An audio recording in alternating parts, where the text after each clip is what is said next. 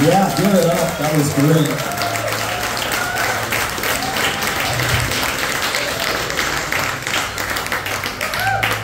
So that tune has a reputation of being, you know, the acoustic one that every guy plays.